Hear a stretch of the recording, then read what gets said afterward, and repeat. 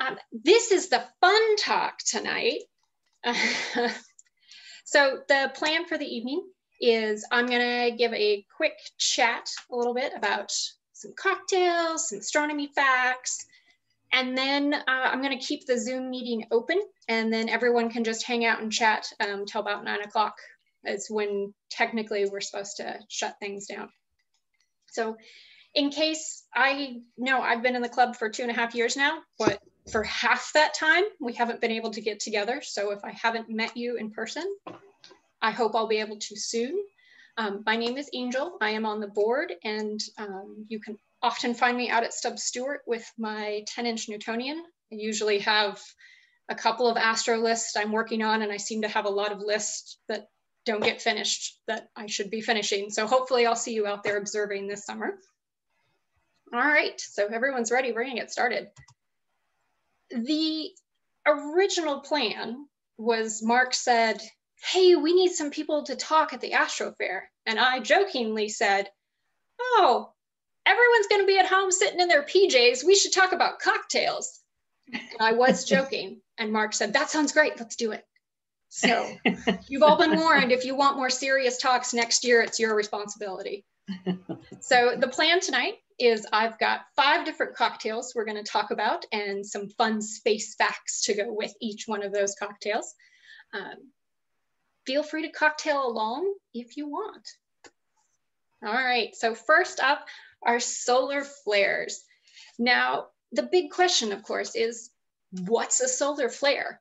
And the most simple explanation is simply that they are massive explosions. They're actually the largest explosions in our solar system. And when they do explode, they release huge amounts of radiation out into space. Now, these solar flares can last for just a few minutes, or they can last for hours at a time. Of course, solar flares don't party alone they uh, they like to get together. So we'll often see solar flares with other activity on the surface of the sun, including sunspots and coronal mass ejections. Now these three activities that happen on the surface of the sun are separate, but again, they often go together. And that's because sunspots are the places on the surface of the sun where the magnetic field has become twisted and tangled and what happens is it holds in the heat, making the sunspot dark. And when the uh, magnetic fields snap back into place, that's when we get solar flares and coronal mass ejections. But to focus on the solar flares, scientists often, well, not often, scientists do classify solar flares very similar to the way we do earthquakes here on Earth. So they are given a class system and each one of those classes represents a tenfold increase in size. Um, so the classes are, and make sure I get it right, they are classified as A, which is the smallest, and then they run through B, C, M, and X. Now, additionally, each one of those classes is also broken down in one through nine. Obviously, they hadn't seen Spinal Tap or they would have done one through 11. But X, so I hope someone gets that joke.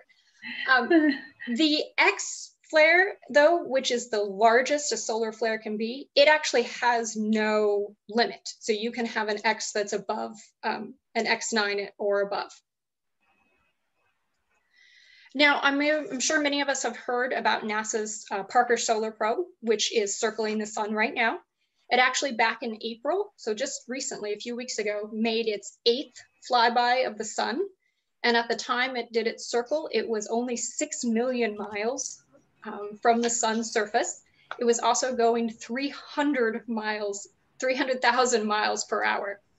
So the Parker Solar Probe is going to be circling the sun until 2025. The goal is to have 24 flybys, and each one of those flybys of the sun will actually be a little bit closer each time.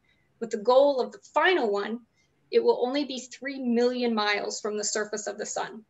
Now, to accomplish these flybys and to get that little bit closer each time and to build up the speed, um, the probe is also doing um, using Venus as an assist.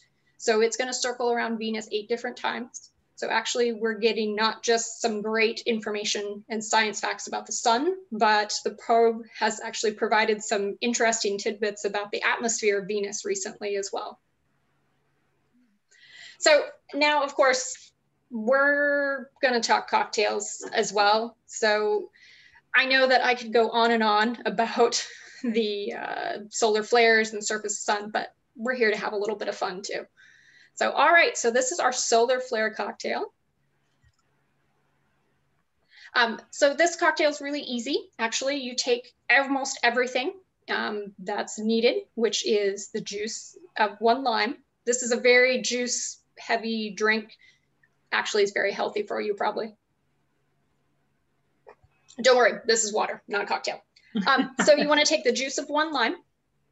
You want to um, take about a shot and a half of um, orange juice. And then you're also going to be using pineapple juice. And you're going to mix those all in a shaker. So hopefully everyone's got a shaker so we can get this ready. Now I use, it's three ounces of pineapple juice. I happen to have those little great um, six ounce pineapple juice around. So they'll make two drinks. So just half of that. Then you'll want to add two types of rum, which um, a white rum, not a dark, you get a weird color and then a coconut rum for a little bit of extra flavor. So two shots of rum in there. Give everything a really good shake. Um, do shake horizontally, pointed away from other people. I have learned this the hard way because things happen. So pour that out um, in a tumbler glass over a little bit of ice. And then you've got this beautiful summery sun color, but to get the solar flare bit of it, you want to take a little tiny bit of grenadine and just dump that right in there. And you get yourself a little tiny, eh, maybe B class solar flare. So there you go. All right, first drink down. Woohoo! So moving on, I want to cool things down from the sun, and we are going to talk about the moon. Now, many people, of course, many astronomers, are constantly complaining because the moon is so bright and they really want to go out observing. And it's only bright, of course, on a clear night. Now, I used to think exactly the same way. However, I've really come around to moon observing.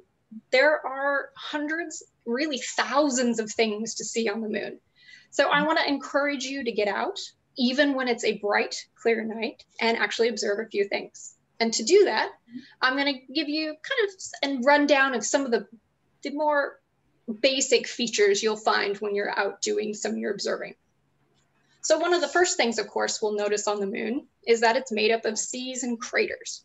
And these, of course, you can see without a telescope. We can see them with our naked eye. Now, the seas are not, as once believed, made of water, sadly. They're, in fact, historically, were lava flows from the um, early stage of moon development. Now, when it comes to craters on the moon, there are an infinite variety of sizes and craters to choose from. Because the moon has no atmosphere, it means that absolutely any piece speck of dust can make its way to the moon's surface. And so you get craters of absolutely every size. Now, connected with craters, of course, are the rays that will shoot out from some of the larger craters out there. Now, rays are a little bit different when you're observing them um, you'll actually, instead of looking on the terminator, the line between dark, the lit and unlit side, which is where you normally want to observe moon, the moon, um, to really see the rays the best, you need to wait until the moon is full bright lit, and then those rays are going to be really obvious against the moon surface. Three other things that you'll notice, features you'll find on the moon quite often, are the cracks, cliffs, and valleys. So rills, which are the cracks, if we want to use our fancy Latin bit, is they are actually formed in different ways. However, scientists just refer to them all as rills, uh, more based on how they look than how they were formed. So the Hadley rill, which is near the center of the moon, it was actually a lava tube, but however, we're a few billion years too late to see the lava flowing through it. Um, one of the most common types of rills you'll come across on the moon are the rills that are represented there in the Hippalus rills. And they're formed when lava cools and that it actually creates this series of cracks um, that are around. So you'll see those quite a bit, but the Hippalus rills are probably some of the best examples to be able to find. So the most famous crack or cliff on the moon is actually the straight wall. Now, when you are out observing the, and you come across the straight wall and the shadows are perfect on it, it looks incredibly dramatic. However, interestingly, it's only about a thousand feet tall, so it's shorter than our coast range in some places. And it's all about catching the shadows just right on it. Now, the moon also, of course, has valleys. Um, these can form in a multitude of ways. So they can be lava tubes that collapsed, they can be lava at one point that flowed and carved out, or even geological faults. So these particular type of features on the moon, the valleys, um, they're actually often quite narrow and but long. So they can be a little bit of a challenge when you're out observing. Finally, like here on Earth, the moon has mountains. And of course, many of the mountains on the moon are named for mountain ranges on the Earth, just to keep it confusing. Um, the moon has, just like here, full ranges. We also have individual little mountain peaks to look for. Um, these, however, mountains on the moon are not formed by tectonic plates like they were here on Earth. Um, they're really typically formed, or what they believe, um, the result of large impacts on the moon. And then the magma was released underneath the surface, actually creating those mountains. So I wanted to give you a couple of good things to go looking for this week um, as the moon is nears full uh, here in just another week. Um, hopefully we'll have some clear skies. So if you do get out in some clear skies, of course, the first thing many of us go looking for on the moon is craters. And when you are looking for at craters, there's a couple of key features to look for no matter the crater. Um, you'll want to first check out, does the crater have a mountain in the middle? Because many of them will. Um, and you'll be able to pick out that peak based on the shadow. Of course, craters often, often come with little craterlets, so you'll find little smaller craters um, embedded all around the crater and sometimes on the inside. And one of the most interesting features to look for in a crater is the walls of the crater. So depending on the age of the crater, the walls could be very intact and still very straight, or they could have collapsed over time, telling us that that crater is quite a bit older. If you wanna go looking for a mountain, Mount Pico is one of the best to go find for your first try. It actually will stand out very, very brightly um, against the dark plain uh, behind it. And then finally, um, late in the week, maybe towards the weekend, um, Schröter's Valley is absolutely one of my favorite things to observe on the moon. It is always gorgeous. And so I definitely recommend going to try and find that one. Of course, Jim already mentioned this, but we have a lunar eclipse coming up. It is at four in the morning on the 26th. Do not have a bunch of cocktails on the 25th because you won't want to get up at four in the morning on the 26th. Um, Again, we won't be able to catch the entire eclipse, but we will be able to catch the most important part of it and be able to see the moon fully covered by the Earth's shadow. So definitely recommend setting your alarm for the 26th. All right, let's talk another cocktail, not this science bit.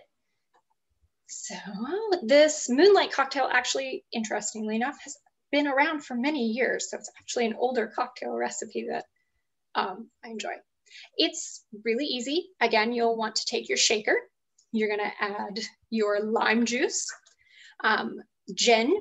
I personally recommend the local gin, Free Spirit. Um, it's good. It doesn't taste like you're gnawing on a tree like some gin. Uh, then you wanna add the creme de violette and the Cointreau. Give those, again, another good shake. Go girl, shake it. All right, so shaking just mixes the flavors, of course, and cools the drink down. So you don't need to be down or shaken for like 30 seconds, a minute. Just a good five, 10 seconds, depending on your strength, will get the work done. I tend to serve this one in a martini glass because if we want to feel fancy. However, if you're sitting at home alone in your PJs, like some of us are now, you can serve it however you want. Also, a little lime peel right there on the top really makes it nice. All right. So moving on, let's talk about Mars. Um, obviously, Mars is a place that does not have any higher forms of life, but it is a very busy planet full of robots. So we have, NASA has three different robots there right now. Sorry, I shouldn't say robots, rovers. And China just landed its fourth. So there's a lot going on there on the surface. We have Curiosity, which has been there since 2012. We also have um, Insight, which landed back in 2018, focused on the interior of the planet. Um, Insight actually just last month recorded two different um, good sized Mars quakes. However, I would say over the next few months, um, Insight is actually going to go into kind of a semi hibernation simply because um, it's going to be winter where it is. So it's just saving energy but that's okay because that gives time for perseverance to shine. Um, that's what we've all been hearing about and its great little helicopter ingenuity. Now, of course, humans have been sending probes to Mars since the 1960s. We've been landing rovers on Mars since the 1970s. And during that time, we have absolutely transformed our view of the Martian planet, of the planet we have gone from thinking that, you know, it's canals full of water to this dry emptiness of nothing to wait, there was water and there was a lot of it. Now we want to know, was there life? And that's really the role of perseverance. So Mars is calling Perseverance their first astrobiology focused rover. So the goal of Perseverance, they know now that Mars had water in the past. It had quite a bit of water, and it also had that water for an extended period of time, which means Perseverance's goal is to really dig down and find out did anything life develop in that water? Did something live there at one point? Part of the other aspect of perseverance, of course, is to try out new technology. And that's what we've all been hearing about is the Ingenuity helicopter, which is part of this new technology. And I have to say, I have not got tired of this little video yet. Watching what is quite, well, I'm sure, is the most expensive drone in the solar system fly around on another planet is absolutely outstanding. Uh, in terms of, well, we've got this new technology, we don't really know how it's going to work. NASA has hit it out of the park. Um, they have ma managed to fly a few feet, they've managed to fly further, and now um, Ingenuity has managed to fly and land in its own area and not even return all the way to Perseverance. So NASA has done an absolutely amazing job with this little Ingenuity. I know my son keeps talking about if he's going to get a drone like Ingenuity, and it's it's not going to happen. Something much simpler. All right, let's do another cocktail. So this one I like to think about as an absolute celebration of all the work that NASA has put in to exploring Mars. Sorry, I'm really thirsty. All right, here we go. So this drink is a little bit different. It actually doesn't require a shaker, but we are going to get to first, you wanna rim your uh, glass with a little bit of red sugar. I like to think of them as like the red rocks of Mars. So rim using a lemon to wet the top of the glass, you can put a little red sugar on the top. Next, we're gonna layer things in. So you add your vodka. That's like a honor of the USSR who tried first to launch um, their probes to Mars before the US tried. Next, we need our red color, which is the Chambord. Then finally, to celebrate, we add a little bit of sparkling wine because celebration. Finally, you wanna use the fancy technique because this will totally impress your friends when you make them later. You wanna float ever so gently the rest of the Chambord um, over the top. And then because we're exploring Mars, a tiny little ice cube to represent, you know, the ice on Mars and a little twist of lemon for the twisting ingenuity. All right, Whew, three cocktails. So at this point, um, we're probably seeing double because we're three cocktails in. So I thought, let's talk double stars. This will be fun. All right.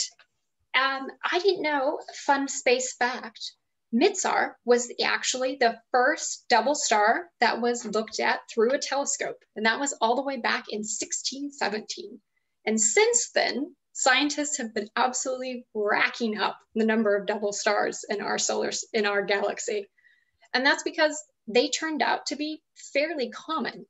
Um, double stars actually come in two varieties, and that is stars that simply look like double stars from our perspective here on Earth, or ones that are truly binary systems where the two stars are rotating around each other. And in fact, we will call both of these things double stars because scientists in many um, many times don't actually know which ones um, the double the stars we're looking at belong to. Should they be are they binary systems or they just happen to be in a perfect alignment for our eyes?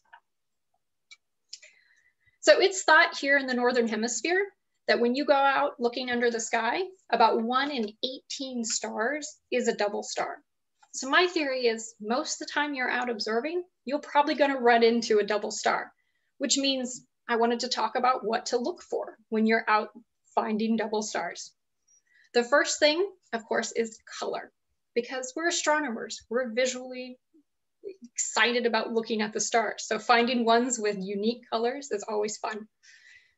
Color also will tell you um, some information about the age of the star, tell you a little bit about even the temperature of the star. Of course, color can be relative. So sometimes it's fun to compare with your neighbor as to what colors they might actually be seeing when they're looking at double stars. Another aspect of looking at double stars is size, because just like any other type of single star, double stars come in a variety of sizes and magnitudes. And in fact, there's a number of double stars out there where the real challenge is to see the much smaller, dimmer star compared to the primary star in the pair. Finally, separation and position. And separation is exactly what it sounds like. How far apart are these double stars? But position angle is actually a little bit more complicated concept. And it's simply asking us, what are the stars relative to each other? How do they lie in the sky? So the, to figure out the position angle, it's really easy. Just determine which um, star is the primary star, and that's usually the brighter star of the pair. And then as long as you know your compass points, whether you're looking in a telescope or just binoculars, you can determine exactly which degree, knowing that east is 90, west is 270, south is 180, exactly where the two stars are in relation to each other tells you the position angle. All right, so I wanted to give you some examples of great double stars to go looking for this summer when you're out observing. The first one to look for is Alpha Hercules. And this star is about 360 light years away from us. It technically is a triple system, but we can only see two of the stars in the system. It's a great double star to go find because it is, um, they're both, they're close together. So you definitely know you found them and you know that they're a pair. The other thing is that they are different magnitudes and different colors. And interestingly, the larger star in the pair is a pulsating variable star. So that's always fun.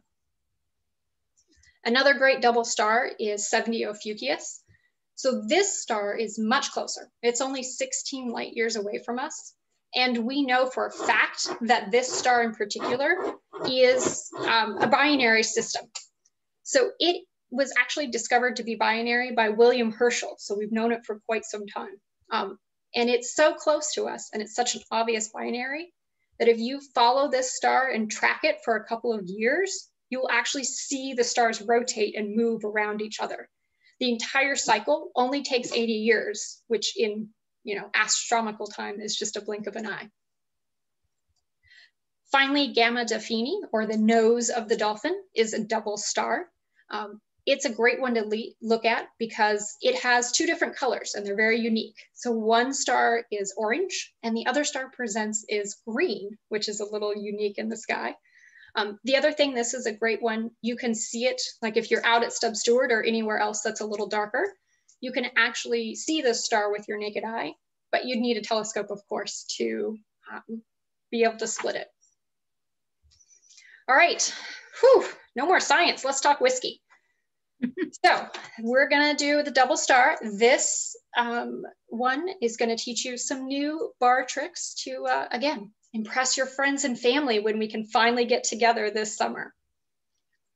So this drink, you're gonna need a shaker, again, filled it with ice, um, two shots of whiskey, because it's, well, I'm not gonna lie, I tried this one yesterday when I made the video and it's, it's pretty good.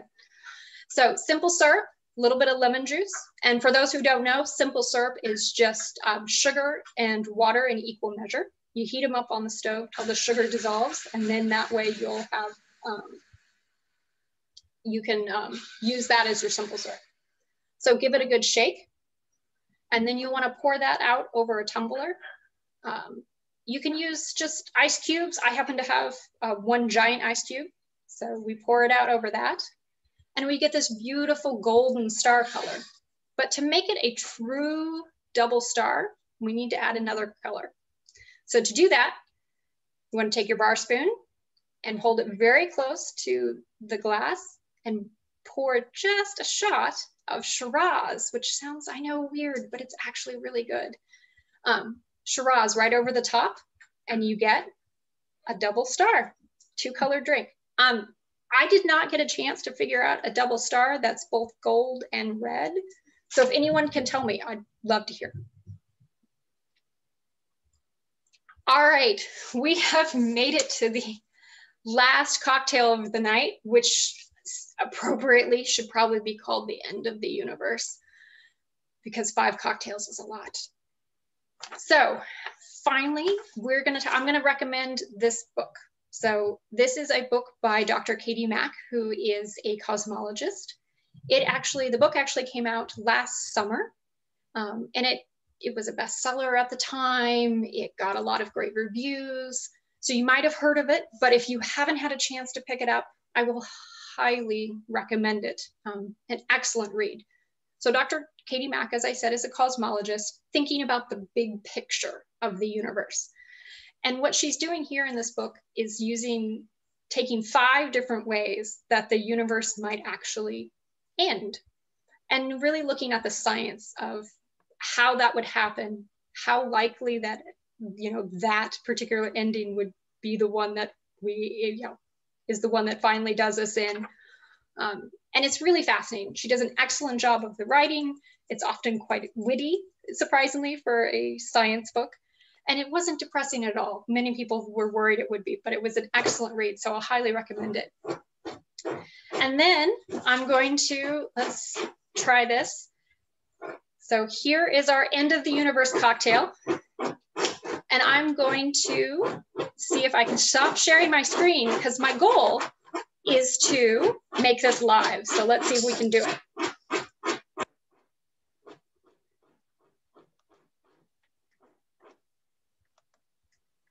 All right. And for anybody who can hear that behind me is my dog, of course, who's decided that this is the exact time that she's going to dig a hole in the couch because I can't yell at her. So that's awesome. All right. So let me, I'm going to scroll it down. I thought you needed to have one drink done live. So hopefully everyone can see that. Going to take our shaker, but no ice. And you are going to add blackberries, fresh blackberries. So this is another good one for the summer. Um, I like to use berries and herbs actually in cocktails over the summer.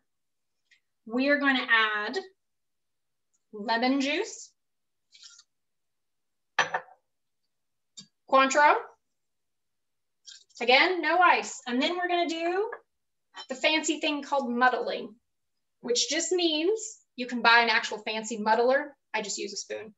You just want to gently squish the, the uh, blackberries. This is not a dramatic end of the universe here. This is just a gentle fading off into the night, really. So we're just going to squish the blackberries and release some of the juice and also make the drink a little dark because I do think an end of the universe drink needs to be kind of dark. So once you've done that, once we've muddled our blackberries in there, that is when we add the ice. Don't add the ice before you muddle because otherwise you squish the ice and then you water it down and that's no good. I'm sure everyone in the club now thinks I'm a complete lush. That's a great thing to be known for. All right, so we add our ice. Then gin. Again, free spirit. This is local, owned by a group of women. Excellent. Finally, bitters. Just a couple shakes because the end of the universe could be a bitter thing. All right, let's find the top. Hopefully this will not be the time that I shake it and it ends up all over the place. Give it those couple good shakes.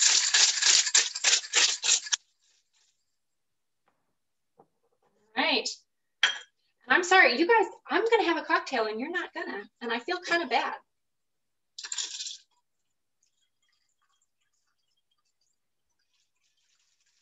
There we go, my friends. The end of the universe, the end of my talk. Thank you very, very much. I appreciate it. And uh, I'm going to drink that and also stop the recording so we can all just hang out and chat. Very nice work.